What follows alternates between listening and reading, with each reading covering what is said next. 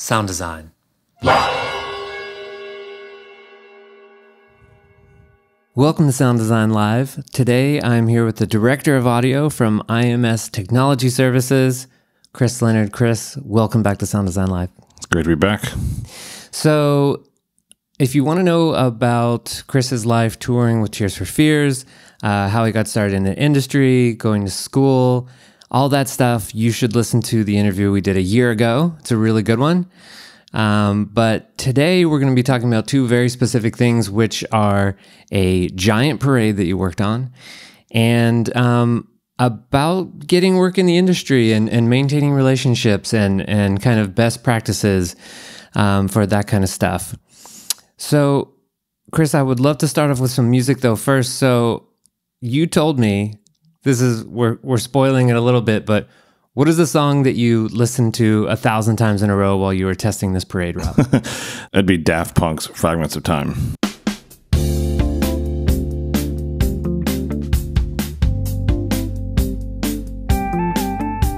Not very many of us are ever going to work on an event this large. Maybe once or twice in our career, something like this comes up. And so we're not talking about this to sort of, I think, give people advice on like what to do in this situation. It's more that it's just fun to talk about things that are kind of at their height of complexity. You know, like Chris works on uh, big and small and medium sized events all year long.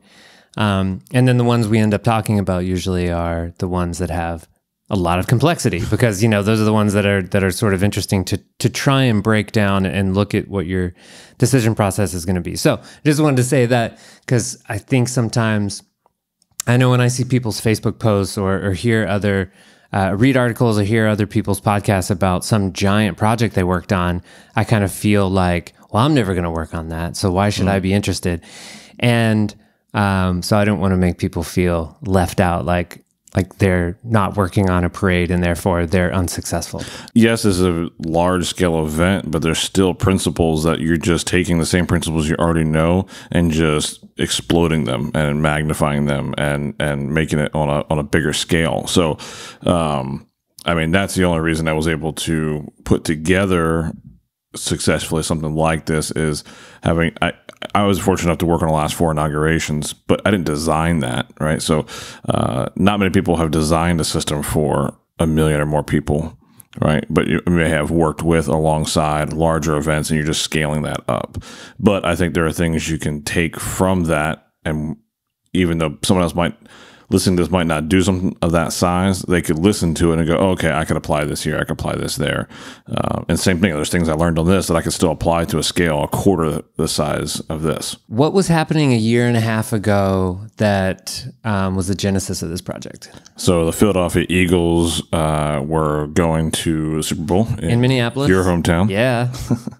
um, and uh, so there's there's two weeks between the, the um, uh, the last playoff game in the Super Bowl. And so after a week had lapsed, so basically a week before the Super Bowl, we got contacted by the Philadelphia Eagles. Uh, we do a lot of work with them. Uh, we are their provider, AV provider in their stadium uh, for corporate events that happen within the stadium or um, other events that they may have outside of game day. And they said, hey, uh, if we win, uh, we have to plan for a parade. Uh, we think it's going to be a very historic parade, and that it's the first time we would have, if we win, we would have won in 52 years. Um, and it probably will be the largest event in Philadelphia history. When we got the call, it was like, um, okay, we need to plan for about I don't know a million to two million people to show up to this thing. Anywhere from a million to two million. Yeah, I mean, because how do you know? Wide you're range. Not, you're, not, you're, not, you're not selling tickets. You know, you're not whatever, and and you're not going to know until Sunday night when that clock stops whether this thing ha- is going to happen or not. So people aren't making you know travel plans ahead of time, all that stuff. It's you know it's a very last minute thing, but has to be prepared for because if it happens, it's a go. If it doesn't, well, better luck next year. And we all know what happened. They won. The Eagles won. The Vikings stayed at home, sad. Um, and so the first time the Eagles had won, everyone in Philadelphia, I'm sure, is going nuts. And they're like, 100% this parade is happening. Oh yeah, I mean, I mean, any, I mean, anytime any team wins, there's going to be a parade for them. So you know, there's going to be a parade. It's just a matter of to what scale and what's going to happen for sure. Okay. Cool. So let's get into the design and the planning a little bit. First of all, how did you get the gig? Why are you the person that designed, uh, installed, optimized, and mixed the show? So, uh, like I said, combination of IMS Technology Services, which is where I work. Uh, we are the Eagles AV provider. Mm-hmm. Um, so they came to the company as a whole, um, and then part of it is that they know some of the scale of work that some people at IMS, including myself, have done in the past, like working on the past four inaugurations and other larger events where a million or more people have been there. So we've at least had, um, you know, collectively have had some experience behind us to pull something off like this. Right. And we talked about in the last interview that you uh, worked for Maryland Sound. You have worked on some of the presidential inaugurations. So you have an idea of uh, the scale and of what is required for this kind of event.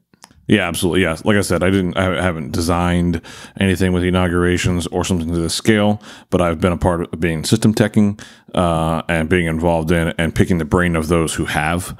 You know, each for those, each for those inaugurations. I mean, I did every day was my goal was to pick the brains of the people that were there uh, to glean what I can from them, and I think that is what helped pay off and being able to um, pull this off if you're listening to this podcast right now, we there's going to be a video portion of this because Chris told me ahead of time. I think this is going to be hard to explain, so I said, okay, well, let's do a video as well. So Chris is going to be describing it, but we're also going to be looking at um, some pictures. So if you're having a hard time picturing what we're talking about, go take a look at the video, which will be on the you know, the show notes page for this podcast at sounddesignlive.com. And then I guess I want to know what the Eagles said to you. What were the requirements of yeah, the well, show? And, and that's actually what this picture does. Okay. Okay. So a, a week out from the Super Bowl, we get the call and said, "Hey, in a week, if if they win, uh, we need to be ready." Right. So we have to plan out this victory parade uh, as if it's happening, have everything in motion so that when Monday morning after the game ends, if they win, we are loading in. And typically the, the parade will be on a Wednesday. So you have two days to set up and then the parade's the third day, right? Um, and so we had a week to put together something which would normally take months to a year sure. typically to plan logistically because again, we're only talking about the audio side of things, right? Um, you have a whole city to coordinate on this. Everything from law enforcement to um, to video screens to um, uh, just entertainment. Like the, the, the amount of coordination is insane across the city. Um, but even just from an audio standpoint, it's like, okay, well, uh, where do you, you know, my first question, where do you think people are going to be and how many? And they said, I don't know. They, they, said, they, I, don't said, I don't know. It's going to be, we expect people to be everywhere. Um, uh, well, specifically, the parade route was. Um, was going to start at the stadiums in Philadelphia, come up the center of the city through what's called Broad Street, and it makes a left and comes down um, Ben Franklin Parkway, which ultimately ends at the bottom of the Philadelphia Museum of Art steps, aka the Rocky Steps. Right. Um, and uh, so that's where the stage was going to be. The stage was going to be at the um, in the middle of the steps, and uh, they they call this area the Eakins Oval. Um, and so I, I kind of made myself a heat map, as you see here, um, and kind of just labeled some zones to say, okay, I think I need to cover these areas. Um, and I actually went, I did that just in the colors and zones before I went down there and said, "Hey, is this kind of what you're thinking?" You know, and they, you know, they said yes.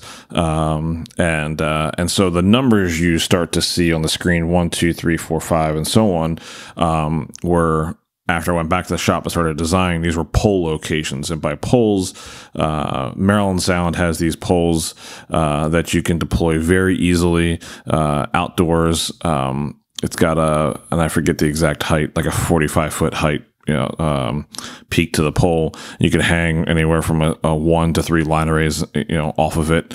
Um, and you can deploy them very fast. They were designed for stuff like the inauguration, Times Square, New Year's Eve. You know, these large outdoor events. You don't want to take up much footprint. Had to be deploy- deployed fast. Um, so I knew that this was the route we had to go. I had a relationship with Maryland Sound, obviously having worked there. Um, having to build SCAF or any other thing for this would have taken way too long. Like this needed to get set up in two days. So what happens? It comes in on a long truck and then they just tilt it up. Yeah, yeah. It comes in on crane? it comes in on a long uh, uh comes in on a flatbed. You get four poles per flatbed, um, and they're in two pieces. There's a ten thousand pound concrete base, and then you have the the pole, um, and you use um, uh, laws, or which are um, long extending boom uh, forks, and pick them up. Um, literally with span sets, drop it on, bolt it. Uh, for people who've been doing it often, it's actually it- you know two guys can put up you know four four poles in an hour or two. It, It's really quick. Okay. You couldn't do that with scaffolding or anything else. Um, so I knew I would have that at my disposal. So I just started saying, first thing I said to them is, Hey, how many are available? right. Cause you need to know that. Um, and the magic number we landed on was around 15 of those poles. And then, so I started adding, you know, boxes to those poles. And so the coverage that I had to do was everywhere from, uh, city hall, which is in like the center of the city, all the way down the parkway to the art museum steps. So if you actually did this calculation, is a little over a mile straight shot of audio. Okay. Right. Um, so I placed the poles uh, up front in by the oval. It was a little more concentrated um, because I had you know more you know uh, concentrated amount of audience there, VIP whole nine yards. Um, and then as it went down, we went down the center of the parkway because I knew the parkway would be clear.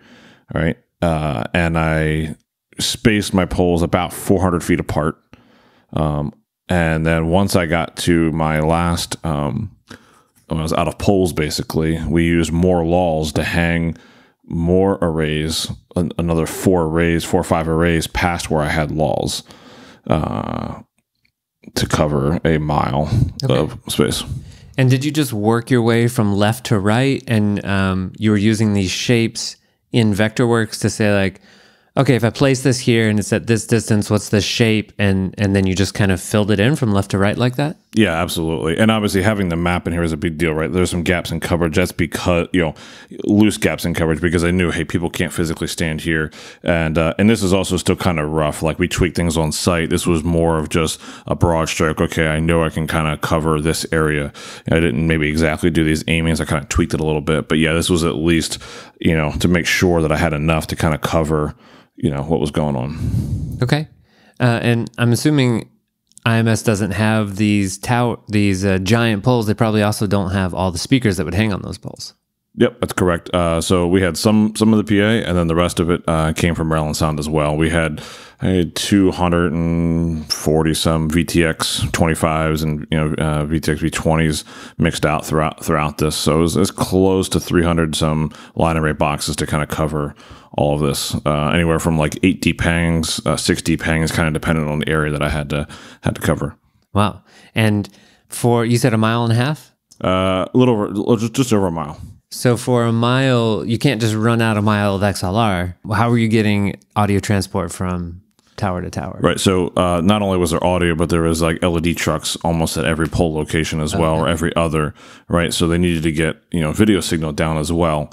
Um, so there was a third party company that we brought in to transmit uh, video and audio over RF, uh, and luckily it's a straight shot. Right. And so they built a tower down near front of house and shot RF down the parkway, and we picked up our signal. There was a receiver at each LED truck, and we pick up our receiver there and get our signal to hit distribute to each of the poles from there.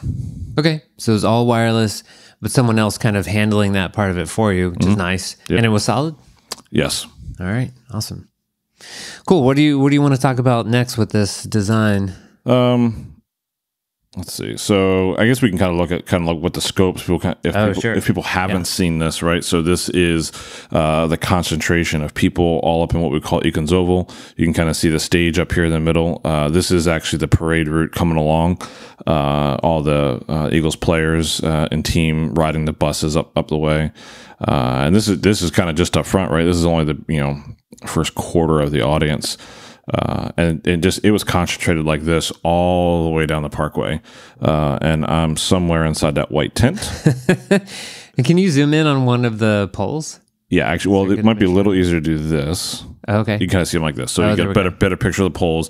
This is uh, kind of front behind front of house, looking down. This building you see here is City Hall. Oh, and it's cold. This is January. Right? Oh, huh, yeah, February. Uh, February. Monday and Tuesday weren't bad, um, although they were calling for bad rain on Wednesday, right?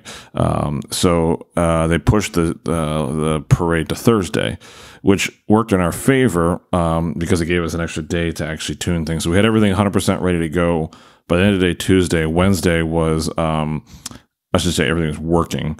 Wednesday was our time alignment and, um, you know, just, you know, tweaking and making sure everything's ready to go um, and be ready for Thursday morning at 5 a.m. or whatever our call time was on that, that, that early morning on, on Thursday morning. So, It was supposed to rain a lot on Wednesday. So, did it? uh, yes. So, I'm imagining you, what, like under an umbrella, like going around listening to all these speakers? Right. So, um, so t- from a you know from a time alignment standpoint, I can kind of go back to the uh, the front here. Working in this oval, I, I you know I was able to use Smaart and a mic and kind of put you know a couple hundred, hundred feet of mic cable and actually kind of time align this section as you would any other venue. Just happen to be an outdoor. Once you start getting you know beyond four or five hundred feet and going down the parkway, um, it that's kind of difficult to do. So yes, it was pouring down raining most of the day. Uh, full full rain gear, but that doesn't stop you from getting soaked because you're just standing in it all day. Um, and so uh, me and the team, uh, we just we started at the first pole at well first of the parkway, which would have been pole 10 Uh, so we did all our timing up here uh, through our system processor, and then our system processor fed the RF that was shooting down down the parkway the we delayed that signal going to the RF for the time alignment of this first pole. And then beyond that pole, everything was receiving it, its time zero was 10, right? So at each pole, we then did the delay in the amplifiers to stack on top of that delay to work our way all the way down to City Hall. And what was like a maximum amount of delay once you get a mile away? I think we were a little over three seconds. Okay. and can I guess you can do that much delay in an amplifier? Well, not within the amplifier, but because you're already started, you know, that, that first, this first pole is already, I don't know, six, eight hundred feet from the, you know, the, the beginning. You already have that delay, delay on top of it, right? Okay. Um, so it was, it really was stacked delays to get to that point. Got it. Yeah. Wow. And and so then to do that, since you couldn't get uh, a microphone out there and continue using Smaart, you told me that you were basically just walking around listening to making your best judgments. Yeah. So what we did is uh, we at least started with just you know Google Earth and said, okay, this pole to this pole is 400 feet. This pole to this pole is you know the, ne- the next footage. Did the rough drop ins of those across as a starting point, right? Um, and uh, and then yeah, you just had to walk it uh, and. Uh, and just and listen, right? Because there is going to be a little bit of a seam between the two, um, and I wanted it to be a cohesive system to work together across the whole parkway. Because you know, sound doesn't just stop, right? So if it wasn't at least somewhat timed, it would have been a nightmare. You know, if you're halfway down the parkway, it, you would just be hearing things three, four, five times, and I did not want that. Um, the NFL draft was in the same location a year prior, uh, and there were a lot of complaints on how the audio was handled uh, in the Oval, right?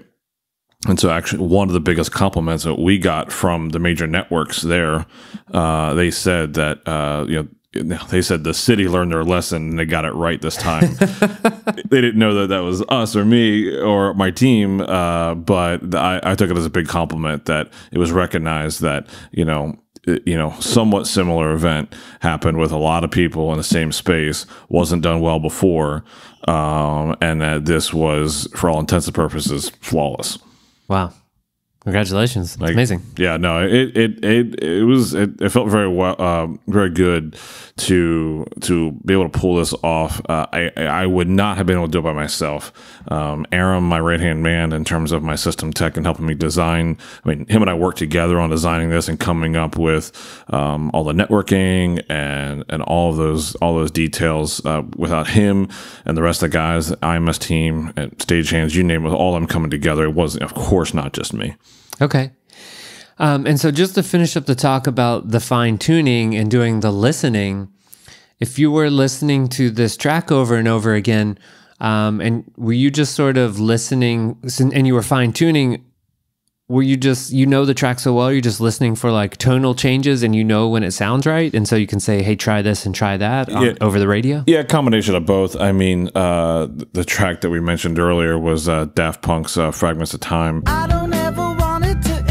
End. Yeah, the song is a very it's a very musical song, so it's a very well rounded song. Um, but it has some very tight, you know, percussion. The, the drums are you know cut right through it. The, the snare hit and the kick hit right. So I was really just using the percussiveness of that to kind of line things up. You know, you and I talked at you know, sure, could I do this with a metronome? Absolutely, but this was across you know hours of timing, um, and I didn't want it to be. Um, I also used to use the music to kind of feel out the coverage. You know, metronome's not really going to kind of tell you what your coverage feels like. So if I need to splay a speaker out a little bit further, you know, or shade a bottom box or something like that, so I can kill two birds in one stone or more birds in one stone by using music. Um, you know, and, and look, we're talking ballpark, right? It's like, oh, hey, take off 30 milliseconds. No, wait, add 15 milliseconds. This isn't like, you know, you know, half of millisecond timings. We're talking, you know, this is broad brushstrokes of timing, you know, just enough that it's not completely smeared and off. Awesome. Um, and then the day of, you were at front of house in front of those steps. Um, talk to me about the mix setup here and and what happened that day. Yeah, so I had a CL5 as my main desk and then a QL5 as a backup. So we double patched all of our inputs, all of our outputs uh, for redundancy uh, for something like this. Uh, not that I would foresee either board failing uh, because they're very solid boards. But you just never know at any given time something could happen, um, and I didn't want to be responsible for an event like this. You know, a simple thing just taking out my system. Um, uh, thankfully, it was not necessary, uh, but nonetheless, it was there.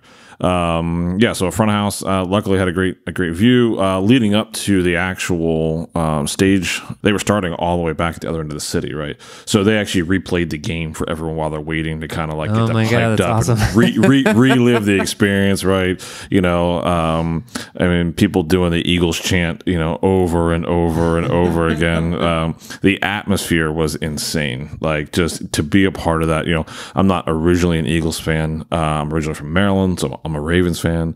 How, however, uh, Eagles giving me the largest gig of my career. I'm pseudo a, a fan because of that now.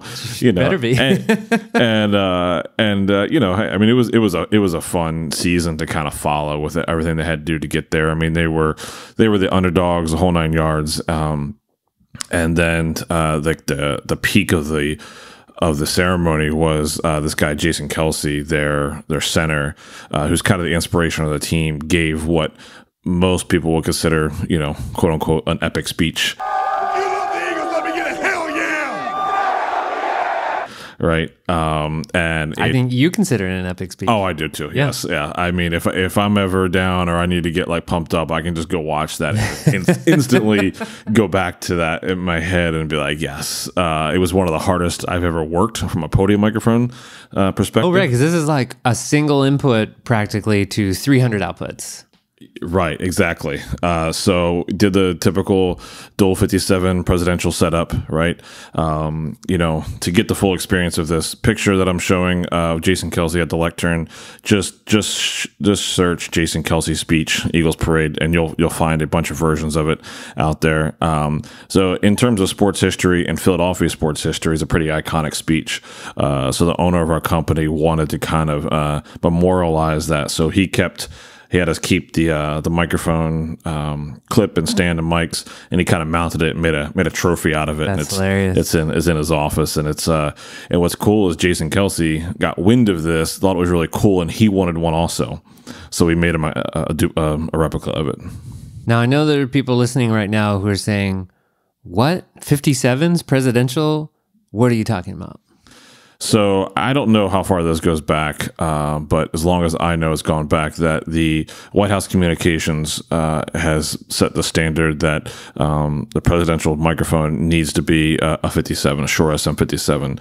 Um, they will never do a um, condenser microphone. They won't any. They don't want any chance for voltage being there or just any chance of phantom power going out. At some point, you know, the dual microphone became a thing uh, and it was a standard for the longest time until our current president, who decided to change it, he didn't like that, um, and so he now uses a single 57.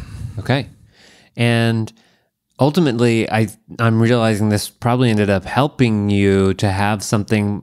Uh, I'm going to say more rock and roll because you were telling me about some of the people, especially I think this guy in the picture, screaming basically into the microphone. Oh yeah. I mean, no one's just kind of sitting back and like ah la la la talking. No, like I mean, the energy is insane, right? The energy is insane, and I mean, they are centimeters away from that diaphragm, ripping into it. Uh, and so yeah, so everything from dynamic EQ on the channel to just overall compressor and gain, I was riding all those things, you know, from speaker to speaker to speaker, because you got varying heights of people and everything. Luckily, I had gain for days just given the design and the space I had.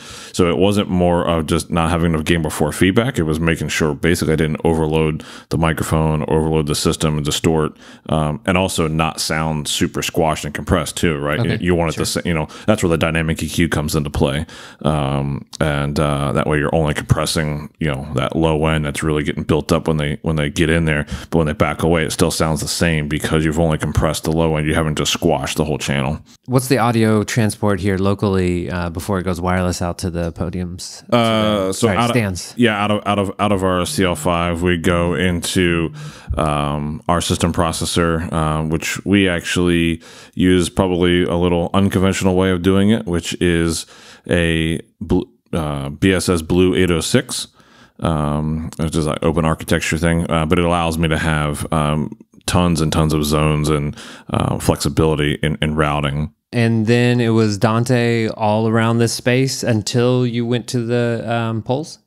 Yes, yeah, actually, well, and even the poles that are around uh, around us um, all had uh, um, had re- uh, RedNet boxes that were uh, receiving Dante and distributing to all of the um, the iTech amplifiers that would have been powering the VTX. Yeah. Okay. Um, and remind me how far on a network cable can you transmit with Dante? or were you switching to fiber somewhere? Oh yes, yeah, Okay. definitely would have been fiber for most of it. Would have been fiber. So I mean, uh, 300 feet. You know, you're not going to want to go beyond that um, on uh, Cat five, but fiber I can go for miles. Wow, that's amazing. Um, and we're actually in Houston, Texas right now. That's right. and we're working on another show that is also using fiber. And I have never seen how in the system that works. Is there just another box that converts uh, Cat five to fiber, or how does that hardware work? So the switches in our racks, um, SG300s, SG350s, um, they have fiber ports that uh, will link other switches. So so within each of our rear racks has has those Cisco switches. You run fiber from that Cisco switch to another Cisco switch, and then it turns it back into Cat5. Let's stop talking about technology for a minute and let's start talking about um, business stuff. I guess what I want to talk about are the things that you don't like and the things that you do like in terms of the way people uh, do outreach with you. And we are in a perfect position because you are director of audio, also a project manager, and um, I am a freelancer, and so I'm often doing outreach to people like you to kind of remind you, like, hey, I'm alive and I'm available to do this kind of work, and here are the things that I like to do. So, this is important to talk about because pro audio, as we all know, is built on personal referral. Um, there is no central marketplace where we all go to uh, meet each other and hire each other yet. Um, and so, what happens with most people like you that need to do a lot of hiring of labor is that you have your own personal list of people that you work with. Um, and just to kind of bring people up to speed who haven't maybe read any of my other articles or listened to other podcasts. What generally happens, or read the book Get on Tour, um, there's a good explanation of this in there. But what generally happens is that when there is a client and there's a job to be done, um, and we need labor to work on it, then whoever's in charge, in this case, director of audio, or could be a project manager, um, you know, different people have different titles who handle human resources and hiring at different companies, and, and we should go through those titles as well. What they want to do first is work with known quantities, right? They want to work with gear that they know, know how to use, and they work, want to work with people that they've already worked with. Makes sense, right? So, um, especially for heads of department, your A1s, your uh, L1s, V1s, the people who are doing the hiring are going to reach out to people that they know already. Um, and you know, especially if it's an, on an event that they're doing for the second time. Hey, I already worked with Nathan previously. Uh, we're doing the same event. Uh, let's try and get him again and see if he's available.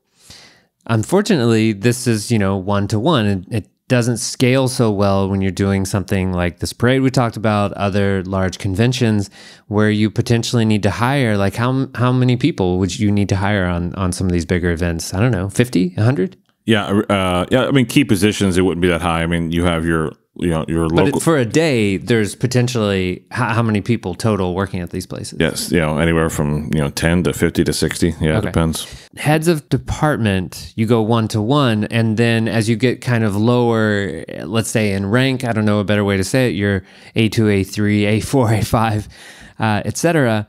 Um, you kind of either run out of time uh, or patience um, to work on this stuff, or you run out of contacts in your address book. So even though Chris has hundreds of people in his address book, he's not going to go through all hundreds of them to hire all of those positions privately.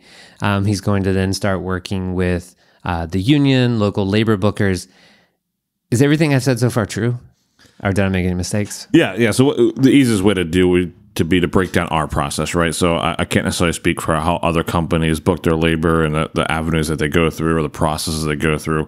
Uh, so the way it works for us is we have directors for all the departments, director of audio, video, and lighting. Uh, we have a labor coordinator and we have an operations manager. So collectively, that team is. Uh, finding, sourcing all of the labor for all of our shows.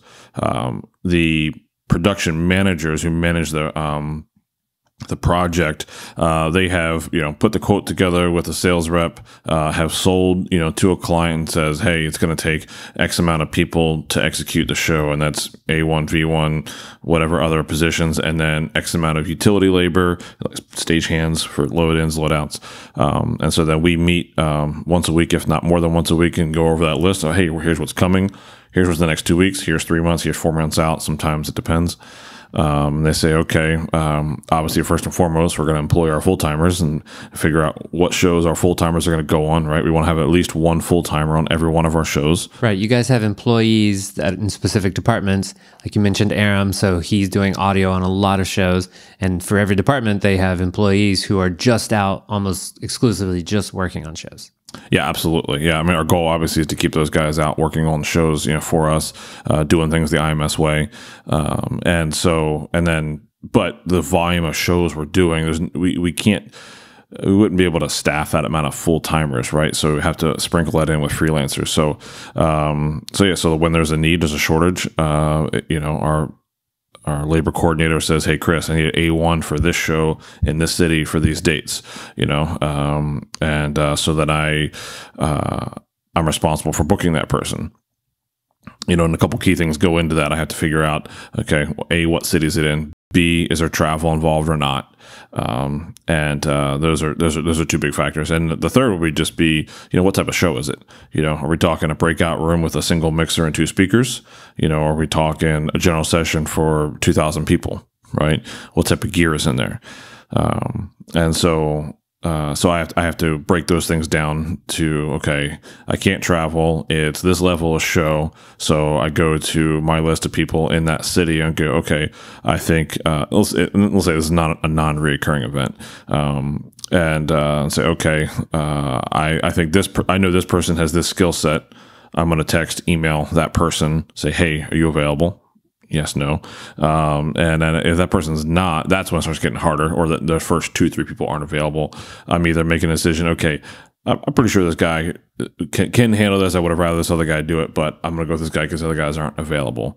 I don't typically do what I call a cattle herd or a cattle call of just a mass text or a mass email say, who's available to, to do this call? That's more of a, a labor broker thing you know, I- I'm I'm hand selecting this person. All right, they're not available. Moving to the next. Moving to the next. Um, and, and I think that's also what's nice for the freelancers, though. If I ask them, um, I, I'm waiting for a response to them. So if they don't respond right away, they don't ha- they don't feel obligated. Like, oh, if I don't respond to him right now, I'm gonna miss out on this gig, right? I, I, and again, I can't speak for other companies, but for me, that's just kind of how I operate. And one thing that's interesting for me about you is that your list of contacts then breaks down further into not only people that you've worked with on a um, one-on-one basis and that you know um, you've seen their face in real life and worked on a show with them and those are the people that you want to go to first but you've now also started incorporating people that you just know online. So tell me how that works Yeah, so I heavily use LinkedIn. Um, I didn't for the longest time, um, and uh, and I mean other social channels as well. But from a from a business standpoint, uh, LinkedIn is very powerful. Um, I've I've I started basically accepting invites from if, if you're remotely in the industry and you send me an invite, I'm hitting accept, right? So I I may not know three quarters of the people who are in my quote unquote you know connected LinkedIn, um, but what it allows me to do is a couple things. One, if I'm going to a city, let's say it's say it's Phoenix, I can search you know audio engineer, uh, change the location to Phoenix, and now I have my six, eight, ten, whatever guys in Phoenix that I know are, are, are A1s. So if they're not regulars or their name's not my radar, but I see, oh, okay, you know, it reminds me this guy's there, right? I, I can go down that way. Um, the other thing LinkedIn does for me is um, guys who are active on LinkedIn. Um, you know, I can kind of see the work they're doing, right? So I, I may not, I may not know who you are, but you know, I'm, I'm, you know, I'm observing what type of work you're putting out there. Um, I can kind of gauge where I think your level of, of, of ability is, um, what types of clients you're working with. I'm gonna be more inclined to use you if I, I'm kind of seeing what what's that what that, that looks like. Um, and I, there's been quite a few guys who I, I just you know followed them for a little while on LinkedIn, and the the time came. Hey, I need somebody in this city. Um, uh, Phoenix actually is a good example of that for me for a couple guys. Um, and so yeah, it's it's a very powerful place to kind of be in front of me, but um, not obnoxious with you know an email every day of hey, got any work? Got any work? Uh, here's my availability. Here's my availability. Right? It's it's um, you know I'm on LinkedIn daily. Right? So if you're posting things and you're active and you're connected, I'm gonna see it. Okay.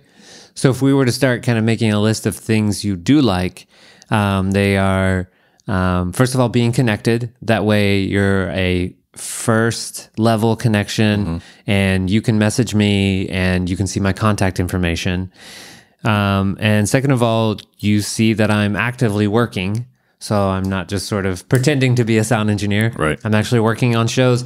And and what sort of posts do you think are attractive? I, I don't know. It, it doesn't need to be fancy or super entertaining, I guess, but um, uh, I think we were talking yesterday about how it should be authentic, right? Like I shouldn't be pretending that I'm doing something that I'm not. Can you say something about that? Yeah, absolutely. Yeah, I mean, there's there's definitely a difference of um, you know if uh, if you're an up and coming person uh, and you're on a show site, um, you're taking a bunch of pictures uh, and uh, and you post them. There's ways of wording it as if, hey, I was part of the team or I helped make this happen, versus you know making it look like you were the guy or whatever. Um, and uh, after some time you can kind of see through what you know where someone is with that. Uh, and so i and I, I prefer people who are authentic with what what, what they're posting. Um, uh, that way it's not a, a false sense of oh this guy's been doing this or, or sorry i don't just mean guy. This tech has been doing this you know this tech's been doing that. Um, and uh, yeah so just uh, and as far as what what i like to see uh, everything you know? Um, I, I don't just want to see the console you're behind every day, right? Uh, and because it's not it's not just about um, you know the fact that you're a sound person. I want to know you know wh- what's the scale of the event you're working on, right? I don't want to just see your rack back a house, right? Or if you are an A2, I want to see how organized your A2 world is. You know, are you using RF tins or, or are you using this? You know, you know how how I'm well not using RF tens. how how how how well uh, are uh, how how well are things laid out? You know, how organized are you? You know, even on a one-off show, you know, I want to see those types of things. So, um, and, and look, you know, you know, LinkedIn or social is not necessarily for everyone, uh, but for those who are on there, um, it, it is a great resource and it's a great avenue. Um, plus, um, you know things can catch on pretty quickly right? You you know it's not just me looking at it right? There's a bunch of other companies looking at it. So um it's uh it's it, it, can, go a long way in showing and, and growing. And so and also I, I don't just follow freelancers as well. I follow every production company possible that i think does decent right? So i'm observing how this production company decided to design their system for this show. I'm just you know what gear did they use? What decisions did they make? I'm also looking at it from a marketing standpoint. Oh how are they marketing themselves? What language are they using? What pictures are they using? Because i do some of the social media marketing for for our company as well. Uh, so i'm i'm not just scouting freelancers. I'm also scouting other companies. Hey they're kind of doing things this way. It might be good it might be bad you know and trying to glean glean stuff from that Two things that struck me yesterday that you kept saying are, I think, the two most important reasons for being authentic and, and why it's it's just easier to actually post about the things you're really working on and the level that you're really working at and your level of understanding. Um, is that number one, as you already mentioned, you can see through it pretty easily um, if someone's not being authentic. And number two, you need people at every level. So you don't just need all super specialized A1s who only work with some specific equipment or something. You need breakout techs. You need A2s. You need all these different positions at all these different levels. Um, and so I'm starting to understand that, that it'll be a lot easier for me to communicate with you and also probably get more calls from you if I'm always saying like, here's the level that I'm at, here's the things that I'm doing. Um, you know, I, I wouldn't want to accidentally get hired for the wrong thing and then it ends up, you know, being a problem and then, you know, you never hire me again. Yeah, absolutely. I mean, uh, so for instance, um, there's kind of two ways of going about that. One is yes, I do need I need someone who can be an A1 for you know this massive show. I also need people who can be a basic AV AV tech for you know a simple breakout room with two wireless mics and a speaker. You know, and it's not just about knowing the gear. You know, it's about um, uh, personality and how you can handle a client and those types of things.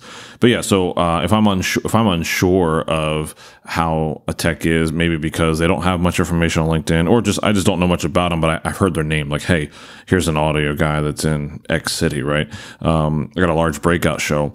Uh, I'm gonna put them on as a breakout tech in the mix of people that I know, and then get feedback on them, right? And then I use it almost as a farm system. Okay, I, I get a gauge on what this person can do right? And then and then next next time I come around, okay, I can give this guy, sorry, this this tech, Sure. more responsibility. Um, or no, hey, this is where this person's at, and it's okay. You know, it's, there's nothing wrong with being, you know. But I would rather it be honest and upfront. Like, hey, I'm not comfortable with doing X. I'm not comfortable with doing this. This is where my, my comfortability is. I will respect that way more than for you to read me back the manual and be able to say every terminology. But as, soon as the CEO comes up and you just put that mic on there and you haven't strung it through his shirt or her shirt or whatever, um, just simple things like that, like you know, they go, you know, it's it's gonna be a problem. Yeah. So Yeah, it's a complex job. Um, and so yeah, no reason to to focus on maybe one part of the job over the other, but I just like to keep that in mind because sometimes I, you know, looking at other people's posts and you see people posting about giant shows or really complex or fancy this and that. It's good to remember that most of us make our living through doing small, medium sized, all different kinds of shows. Um, and so there's no no reason not to post about potentially the small show that you're working on if you want to. I don't need to feel like I have to be something that I'm not because all these jobs are important. Yeah, it's tough. There's a balance there, right? Like, there's a typical marketing thing is that like you you don't um you don't show pictures or content of just everything you do. You show you show the work that you want to get, right? So there's something makes there's something to be said Sure. for that, right? Like, no, if you know uh, three weeks out of the month you're doing basic AV breakout shows, but you know you you know you can do and want to be doing larger general sessions.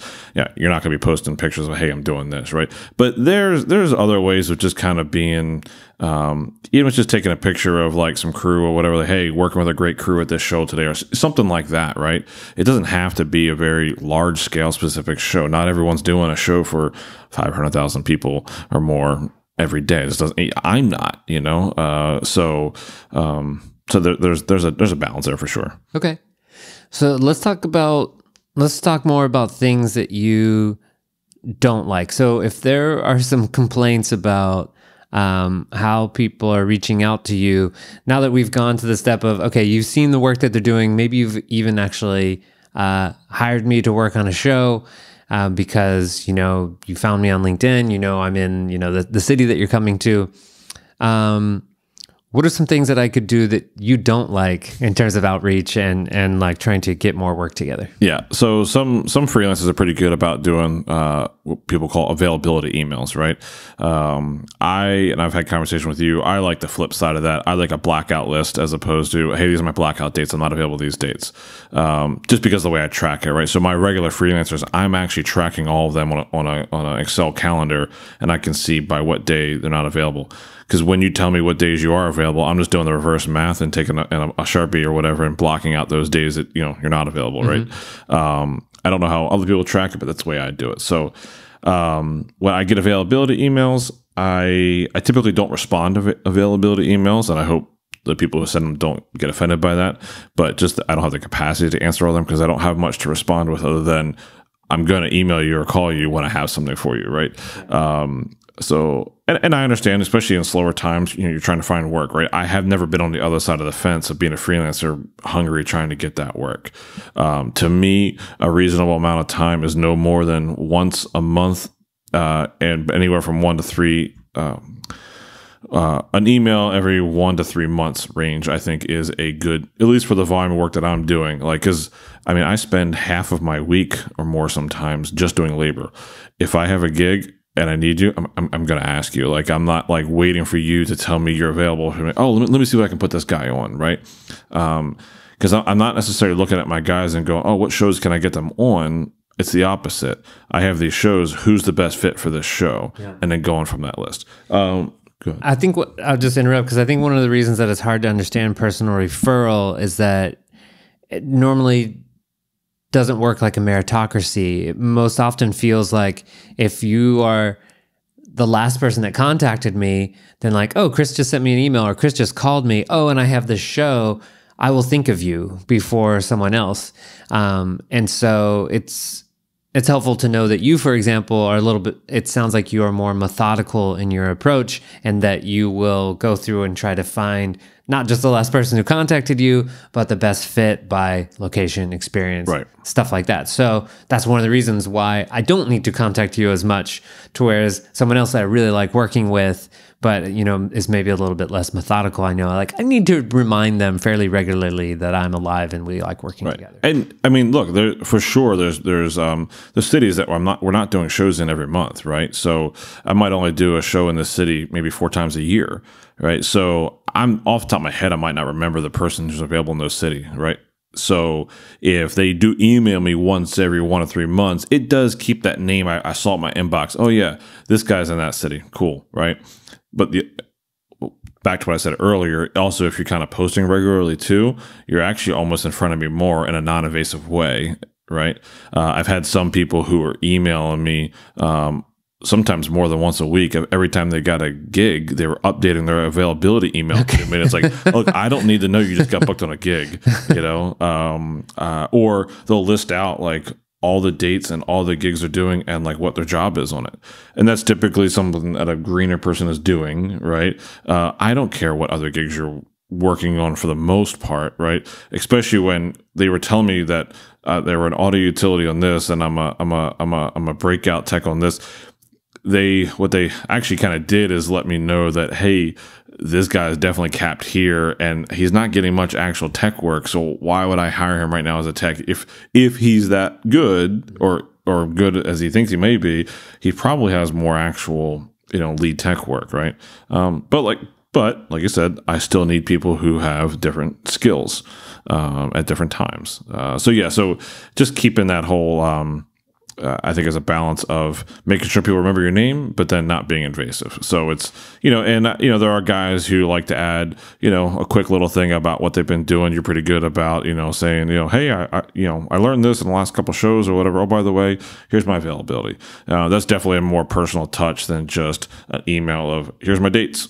You know, Yeah, and I I started trying to do that better because you mentioned someone else to me and and because we're friends, I've been asking you more information about like like show me good examples like who's doing this really well. And so you've shown me like, hey, if you uh, make your calendar really easy to read, then that's easier on me. And if you send me blackout dates instead of availability, that makes it easier on me. So ways that I can make your job easier. And then one of those you said, hey, I read this guy's email every time because it's usually something entertaining or informative. And I was like, okay, I can try to do that. And so I've been trying to make those more personalized, either something personal about myself that I think is entertaining or something that I learned that I, you know, I know you're really interested in audio too. And we both use Smaart and this kind of stuff. So, so the more personal things I know about you and your interests, the more I can try to, to, you know, make our relationship less formal, I guess.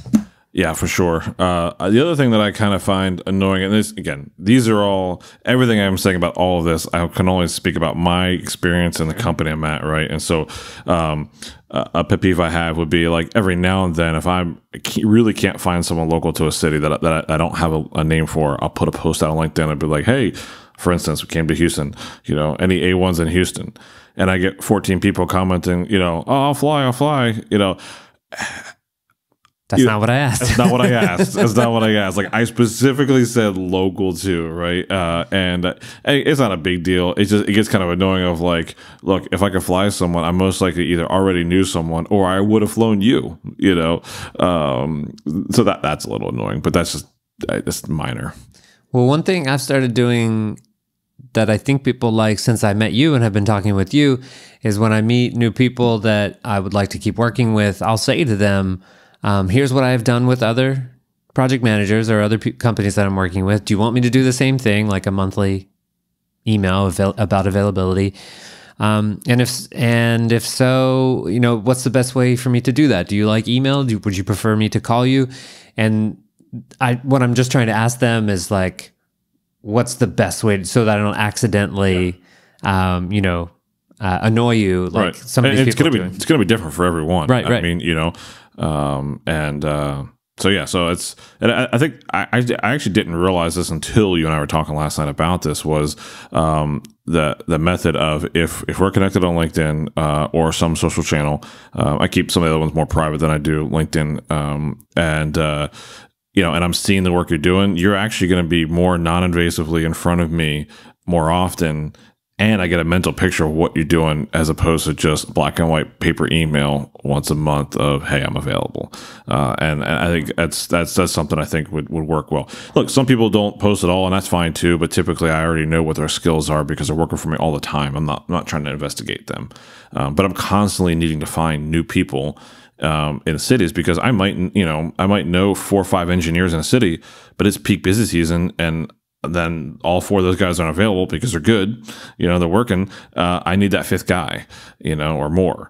Um, and so it's, uh, I say you can almost never have enough guys in, in each city. Um, but then it actually starts getting difficult because, especially in cities where work a lot, I get concentrated. I'm 10 deep guys, um, and I want to introduce a new guy into the system, but I have all these other guys too, because there is some sense of loyalty as well to my regular guys. Um, not just for the sake of being loyal, but because they're, you know, they're, they, they know my, they know our gear. They know the IMS way. We're very particular about the way we do things. I know their customer service as well. Um, you know, a lot of people can can tech, but their customer service is is is subpar to what to what we do. Okay. Yeah. my biggest takeaway is that you know be considerate of the kind of communication that that is helpful to people and how you can like save them time and make their job easier and um and the easiest way to do that is to ask them like hey i want to keep in touch with you um what's the best way for me to do that um chris where is the best place for people to follow your work Well, like we said for the past uh, good bit, uh, LinkedIn's probably the easiest to see my, my work, um, especially uh, yeah. If you're if you're uh, audio tech in in the U.S., uh, yeah, connect with me so we can I can see what you're doing and and, and possibly work together. And uh, yeah, Chris, thank you so much for joining me on Sound Design Live. thanks for having me. Sound Design. Live.